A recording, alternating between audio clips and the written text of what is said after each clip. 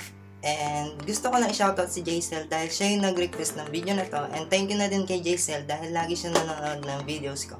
Thank you so much, Jaisel.